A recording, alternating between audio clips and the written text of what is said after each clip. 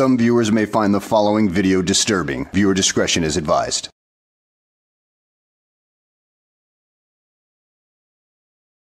Well, hello and welcome back to the channel, everybody.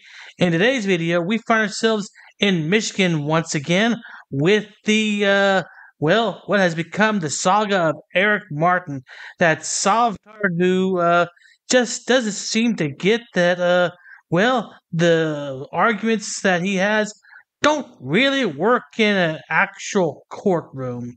So let's go ahead and sit back, relax, and find out what this idiot has to say this time.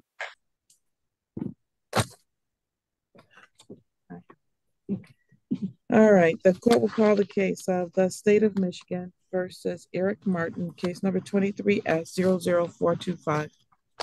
Rachel McDuffie for the people.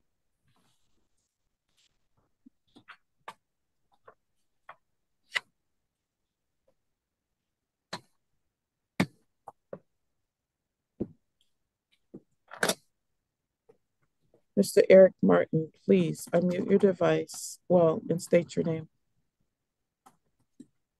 Can you hear me? I can now, sir. Capital E, lowercase r i c, of the capital M, lowercase a r t i n family, a living sovereign, one of the people. Stupid or something? Come on now, dude. All caps, low, no caps, whatever. You do realize it just all comes down to formatting, and uh, all caps names don't exactly mean that something is a corporate entity. Hell, I was going down the road the other day and I saw street names that had all caps in them. So does that mean that street is a uh, corporate entity? Most likely not. Not to mention the fact that I've seen plenty of corporations out there that don't exactly have all caps for their uh, corporation name. I mean, you might want to uh, think about these things. I mean, actually go out in the real world and look, really look. But of course, you're not going to do that because you're too blinded by your own stupidity to even see beyond that kind of thing. Assistant Public Defender Don Lebo as standby counsel. Thank you. We're here for a pretrial today. And a bench warrant is still outstanding for Mr. Martin. That's correct, Your Honor. As it relates to the pretrial, uh, I believe the last time that we saw Mr. Martin, it was on December 7th, and he had some difficulty viewing the video that we had sent via flash drive. I encouraged him to get with his standby counsel, who at that time was APD Sandra White. Uh, he did not appear at that next hearing, but she did confirm that they had spoken um, almost every day and um, that he they had reviewed the video. So my understanding is that Mr. Martin has been able to view the complete discovery, including all of the media. Um, I know that we were headed to a jury trial, so um, I will leave it to Mr. Martin to um, confirm that so we can get going with selection. Mr. Martin? Yeah, I looked at the video. Uh, and I filed a, uh, yeah, I looked at the video and I also filed some uh, demands uh, to dismiss some self-incrimination based on the video, along with some others that have not been decided on, um, which uh, should be decided on before any trial scheduled or anything else. Mr. Martin, I've decided on all the motions that you brought before me. And the way this works is if I make a motion ruling, then the party making that motion has to prepare the order. So when you complain about no orders being prepared, that's your not preparing them, sir. What do not preparing? I, I, I think I think my words were very clear. I understand what you're saying. You're saying because I didn't style it as a motion or something? What are you saying? Well, uh, Sovtard, uh, it seems like that, uh, you are the one that's at fault for this. I mean, she's given you very clear instructions on how to file motions, and clearly you did not follow those instructions to the letter. So therefore, yeah, it's your fault that those, uh, quote, uh, orders of yours didn't get through. So, dude, you should have hired well. I hate to keep saying this over and over again, but you should have hired somebody competent enough to defend you. You know, uh, somebody who's been trained in the law, not the kind of law that you think exists, but the actual law. So that way they could come in, help you, and try to get you off the hook. But I it might be too late by now. Might be. I'm saying that I already ruled on them. So when I rule on them, it's up to the party to prepare them. That's you. I did prepare them specifically. My demand to You prepared, sir, you did not prepare my ruling order, which was that they are denied. I mean, they're they're denied, but you didn't rule on it. How does that happen? Do you have anything else you, yes, Miss McDuffie? I'm sorry, Your Honor. I did just want to clarify one point because Mr. Martin, I think, um, mentioned that he had, um, he wanted to move to dismiss based on incriminating statements after he had reviewed the video. So I don't know if there's a sort of Miranda issue he's raising or not. But I would just, um, I guess for the record, remind Mr. Martin that when he appeared for the hearing on the five documents that he filed, demands, motions, whatever you want to call those, um, Mr. Martin, during that hearing, uh, rattled off the fact that he did not have a valid license, his vehicle wasn't registered, and he didn't have insurance and didn't feel like he needed to do any of those things. So if there are any incriminating statements that would relate to the counts in this case, he has made them multiple times, including on the record in this court at his own hearing. So if any statements were suppressed from that media, they would still come in from statements he's made in court. He chose poorly. Perhaps you should have uh, exercised your Fifth Amendment rights because this is a perfect example of anything that you uh, say can and will be used against you in a court of law. So, dude, your words are coming back to haunt you, and uh, you have no defense for that at all. So, this should be a piece of cake for the prosecution once it finally makes it to trial, that is. Well, well, I object to the decision when it's self-incriminating. Uh, as I pointed out and stated in my demand to dismiss, as the U.S. Supreme Court said, uh, license ain't necessary. We're not using the streets for profit, which the cops have no evidence. I Mr. Martin, you need, you're gonna need to speak up if you want to have a transcript of this because it's not.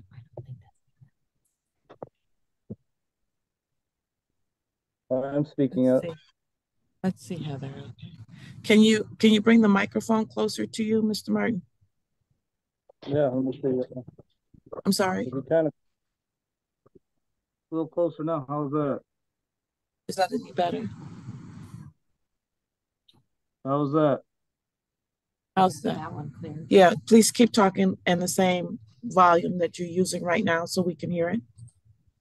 I object to what she just said about I made some self-incriminating statements. That's not true because, as I pointed out in my demands to dismiss, the law is in my favor. The higher supreme law, such as the statute, which is supreme law of the land under Article Six of the U.S. Constitution. Federal statutes override state statutes, along with the Packard versus Banton case I uh, cited and sent a uh, quote from the law book uh, on that clearly said from the U.S. Supreme Court that the people have a right to use the roads, not a privileged right. And uh, as long as you're not using the streets for profit, which I wasn't doing, and there was no evidence, and the cops have no evidence of that. So I was exercising my right to travel, didn't need a license, insurance, registration, none of that. Yeah, I'm going to need a citation on all those Supreme Court rulings that you claim to exist. And in addition, uh, stop making it so easy for the prosecution because you keep on incriminating yourself in this uh, hearing, which this is part of the process, and this will come back to bite you in the ass later on. Because this is definitely on the record and the prosecution can definitely go back and use this against you later on you lead paint chip eating uh gibbering moron So uh, nothing self-incriminating what I say. There's no legit case here, and uh, which is why I beat a, a case on the same exact issue in Southgate. Same exact issue. Prosecutor moved to dismiss it because they know they had they had to win the case. The higher law is in my favor. The state law is unconstitutional. That's assuming everyone's driving a motor vehicle when they're not. And I'm working to change that state law, and I'm going to. I already got a federal lawsuit filed on it in the Detroit courthouse on Lafayette Boulevard. Right now, I got to fight one about filing fees, but when I overcome that, they'll be, they'll be deciding on the merits, and uh, I will be winning on that issue, and the state law will be changed. Uh-huh. And let me know when Elvis gets here. It's going to stop making the presumption, the state statute law, that everyone's driving a motor vehicle, even when it's not for profit. That's the problem with the state law. It's unconstitutional. Cops are cops are blindly following that, acting as if that, and then the so-called courts are acting on that presumption. No, everyone's driving a motor vehicle. They need a license, insurance. Well, no, they don't. They're not doing it for profit. They're exercising the right to travel. So, Your Honor, since stop to. Mr. Um, I'm, I'm sorry, Mr. Martin, since Mr. Martin has again, um, made those same statements that I referred to earlier, and this prosecutor will not be dismissing anything in this case. We will be proceeding to trial if he doesn't want to plead to it. Um, let me ask the court if I could.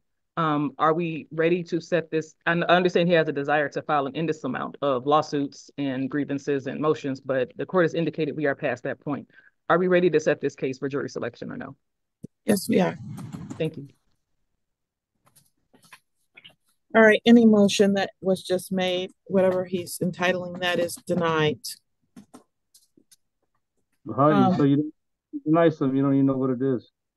But anyways, you still have, there, there's still demands uh, to dismiss that haven't been ruled on as a matter of law, which what a lot of them are, such as the state as a party. I filed a demand to dismiss because the state is the party here. Plaintiff.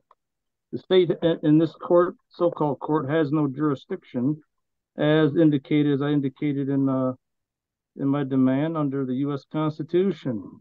Only the Sir, US sir, I'm not hearing those motions again. On October twenty-sixth, I made a ruling on all of those motions and you have not prepared the, the order to that effect. We're done with those motions. It's in order. Is that the So- May jury selection, Your Honor, or? No, no, it's not. We're gonna do a July twenty-fifth, uh, jury, uh, July twenty-fifth final settlement conference. Okay. August 9th. Right. July twenty-fifth, two thousand twenty-four. Hold on, let me uh, write this down here.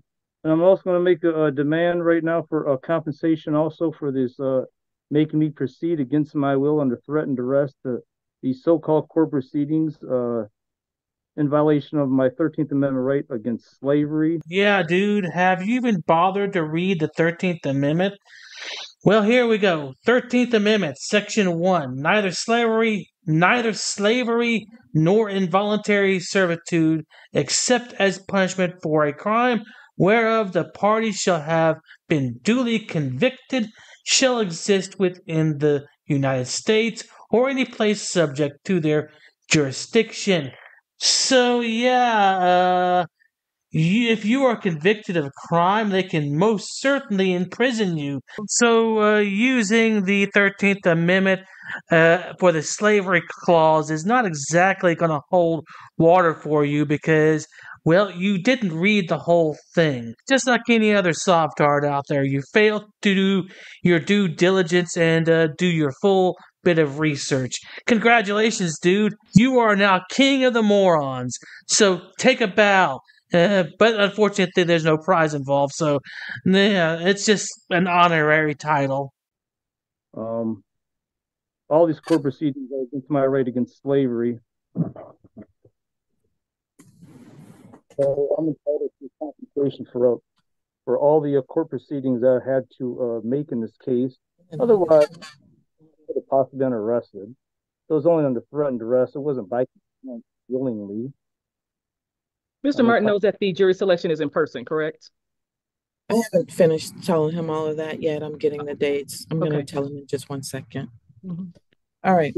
The uh, final settlement conference in this case is going to be on July twenty-fifth, two thousand twenty-four at eleven AM. And that is Oh. on Zoom. The August 9th Jury selection is in person, and that's at 8.30 a.m. on August 9th. Hold on, July 25th, 24, right? 8 p.m. a.m., sir, right? At 11 a.m., sir.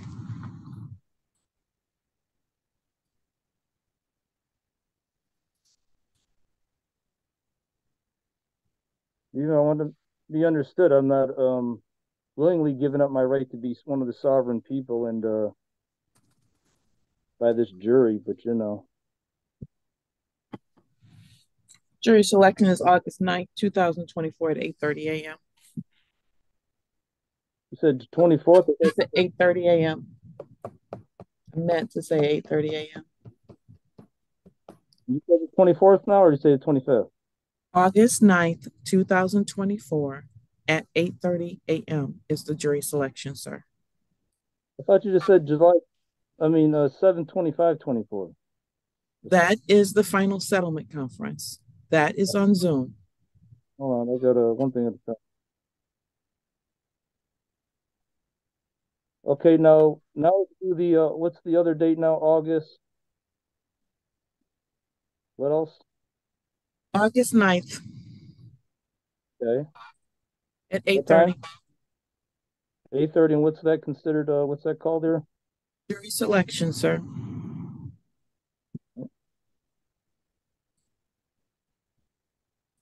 Now is it which is in person here now? The the seven twenty five twenty four.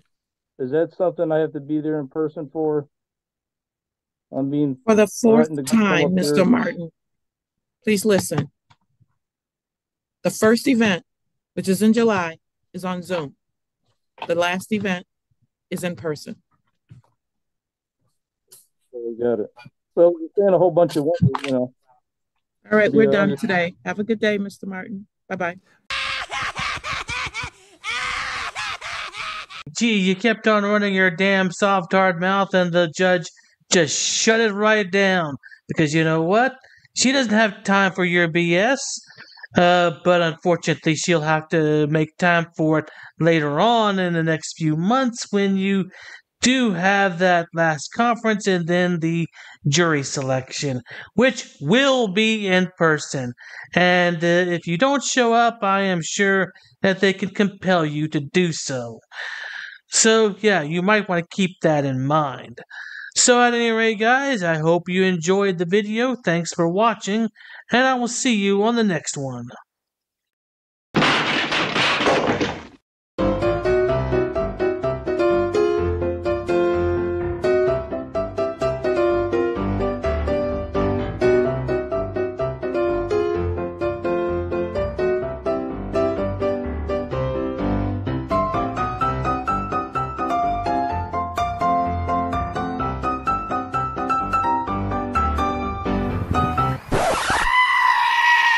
Dude, so there's no way I can get in, bro? Come on, I'll put you on my YouTube. But shut up, Wesley. You gotta put signs up, ma'am, if it's. Are you Glenn Serio? Who's that?